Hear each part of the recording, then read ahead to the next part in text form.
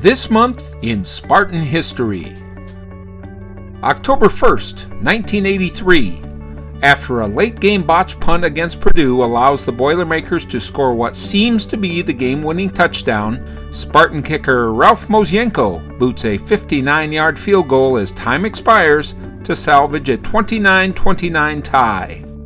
We got the kickoff to like the 30 and we drove in and I had a chance to redeem myself with a 59 yard field goal with like two seconds left on the clock and they called timeout The stadium, everybody was like leaving because they thought they had won the game already and no one was going to kick a 59 yard field goal. But I hit a perfect field goal and just it ended up I looked like the hero instead of the goat. October 6th, 1934. Kurt Warmbein scores two touchdowns to lead coach Charlie Bachman's Michigan Agricultural College team to a 16 0 victory over Michigan. It's the first time in 19 years that the Spartans beat the Wolverines. October 9th, 1902. John Alfred Hannah is born in Grand Rapids.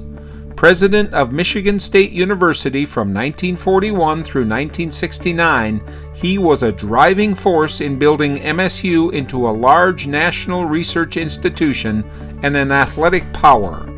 I uh, recognized early that uh, athletics uh, were not only good for the people that are interested and watch athletics, but the athletics uh, can be a great force for good on a, a on a university campus. Yeah.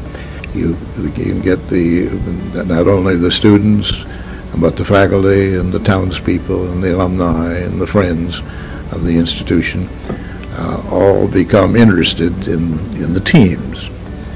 And uh, this is, is, uh, is good for a college or a university.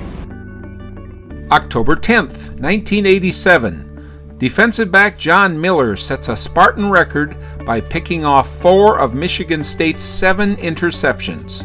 What results is a 17 11 triumph over Michigan in East Lansing you don't come up with four interceptions without a little bit of luck on your side. And uh, you know, I think uh, two of the interceptions were probably legit, and the other two were bad passes.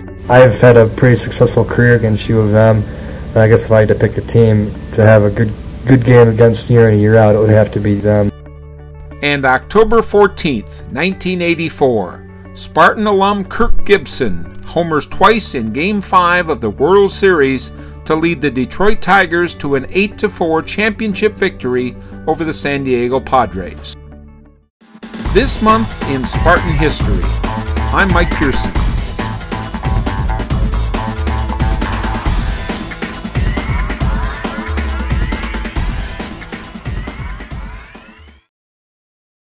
This has been an MGP Entertainment production.